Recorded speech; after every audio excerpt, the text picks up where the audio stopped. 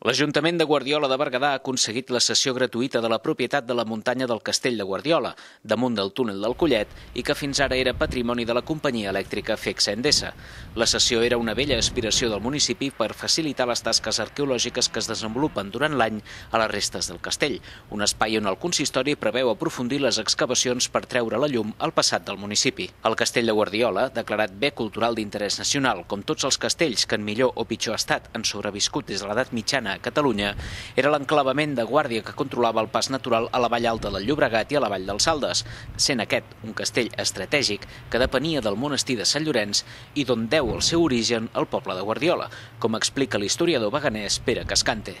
Bé, Guardiola de Berguedà, el nom és molt fàcil perquè fixeu-vos que ve de guàrdia. Aquesta guàrdia té molt en relació amb, també amb el territori, perquè just abans d'entrar al, al, al municipi de Guardiola eh, l'aigua barreig entre el riu Eina, que és la ria de Saldes, i el Llobregat,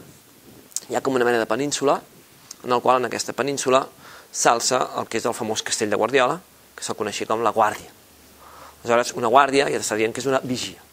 I per què allà? Pues perquè justament es controlava l'entrada al que era tota la vall. La vall del Bastereny, la vall de l'Illet i la vall de Saldes. Des de fa uns anys es realitzen treballs d'investigació per part d'un grup de voluntaris. Les excavacions arqueològiques anuals han deixat al descobert restes d'habitatges i equipaments que fan pensar en un establiment més important del que fins ara es creia, a més de troballes de ceràmiques, joies i altres restes que situarien l'edat del castell anterior a la que fins ara es donava per bona.